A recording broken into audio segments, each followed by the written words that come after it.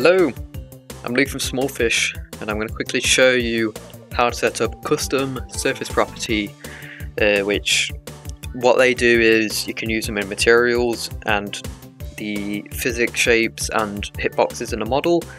And what they do is they deal with everything from like the actual physics so like the weight how it should move around and bounce around and slide around in the world uh, the impact effects so like particles and decals the sounds they should make when they hit and walked on also, they do have extra things like uh, break sounds, specifically for materials in Hammer. They also deal with how the Steam Audio Reverb Bake works. So basically, they deal with um, how echoey things should be. So if you like using concrete, it should echo a lot versus carpet, which shouldn't echo really much at all. But you can specify that all in the one file. So to get started, just uh, right click in the asset browser and do a new surface description we can name this whatever.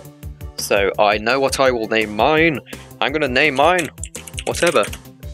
And we've got whatever dot surface, so we can go into that. I'm double click it. And first thing to note here, let's say you wanted to make, let's say, dirt, but you wanted to add like different impact effects or like different sounds. You can just say, I'm going to use dirt as my base surface, and so every empty field in here it will use the empty the filled in fields from dirt. So let's say I don't add any impact effects, I don't add anything into here, and I don't add any physics. But I do want my own sounds. So what it will do, it will use these sounds, and then it will use everything else from the original base surface. What I'm going to do is smack mine as default, because I'll just use default. And then next, you'll see is audio material. This is what deals with Steam Audio in terms of the reverb. So I'll just throw in concrete for example. To show you that, I'll go to everything and audio material.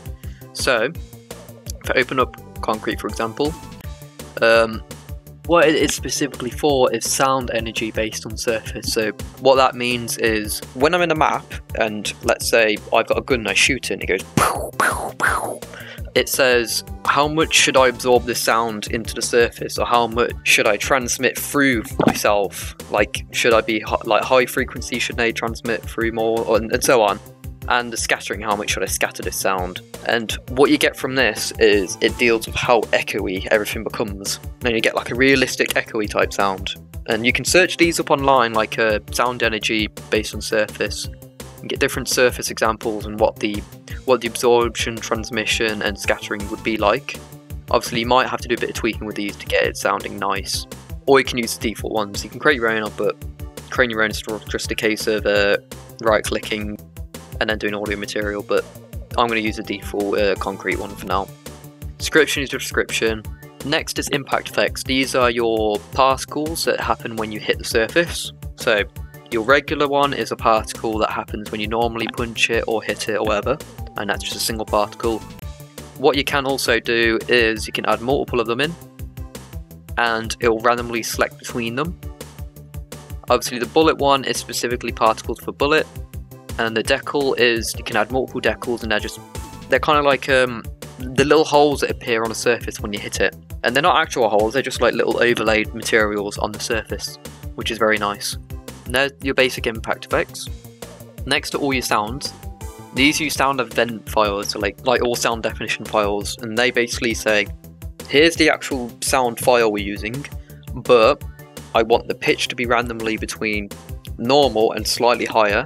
I want the sound like volume to be between normal and slightly lower, and I want, let's say, the decibels, which is, let's see if it's like a leaf or like something very very loud, basically something very quiet, something very loud, how far away you'll hear it and it basically just contains all that so it can be used to accurately do the sound in game.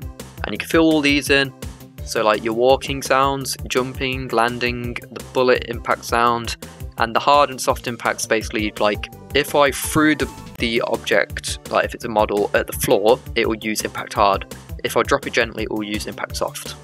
Breakables is your breakable sound. What you'll also see, these these are mainly used for your models, but generic gibs are like let's say I had a surface that's a wooden surface, and when I break my model, it spawns like little wood chips, and I'll put these in generic gibs. Obviously, each model can have their own specific gibs, so let's say I had a wooden bench. When I break it in the model itself, it has like a bunch of wooden planks that break apart. And then I have like little wooden chips as like gibs. You can do that if you want to, or you can just leave it. And last is what's used uh, for your physics. So friction is how much you should slide around. So you can use that in terms of like how much the model should slide, or how much if you've got a player and you want to make like it very slippy and icy, how much the player should slide around on the surface, which is cool. Elasticity is how bouncy it should be, so like a bouncy ball. Density is like how generally dense the material is, so like if it's titanium versus polystyrene, for example. Thickness is let's say if we're using like solid wood for like 100% thickness versus wooden planks, which would be like 10, like very thin. And that way you, we can get an accurate calculation for your mass when using on your physics. Dampening is obviously just generic dampening, and the bounce threshold is let's say you had your bouncing very high. If I drop it like with a very very low velocity and it hits the ground, it's the limit of how high the velocity needs to be when it's hitting the ground for it to bounce up. So let's say if I drop it gently, it doesn't bounce. I throw it at the ground as hard as possible and it bounces all the way up, so that's the point at which it'd be able to start bouncing. Now you got all that set up. I'll quickly save it. I'm not going to add any of these in, but save it. And to add it into your material, you just open your material and you go to your attributes and whatever. I've got whatever that's already in there, but that's how you add it. And obviously that allows you to have all the effects in your material when you've put it in your map and the the reverb and everything to bake well as well. Um, now on your model, you don't have to do it on the material for your model. As far as I know, you only need to do it on this, the physics shapes. Obviously, you can do it for multiple different physics shapes, and they have their own individual surface properties. So let's say you had a part of the model that's wooden, like a handle, and the head, which is metal. You can do a physics shape for the handle and a physics shape for the head, and have the head as wooden, the head as metal, and the handle as wooden. But now I'll change it from the small fish surface to the whatever surface. Obviously, if you look at the calculated mass, and I go to let's say wood, see the calculated masses. It happens based on the physics we set. We can save that. I'm going to set mine as wood actually, so I, so it just is there. And your hitbox, you can set it as whatever as well. And that's hitbox. Obviously, they're used for when you're like doing traces in your code, and you can use a hitbox to see if you're meant to be hitting the model. It's just a nicer way of dealing with stuff for that stuff. But yep, and that's how you set up uh, custom surfaces, surface uh, properties for your models and materials. It's pretty easy, pretty simple.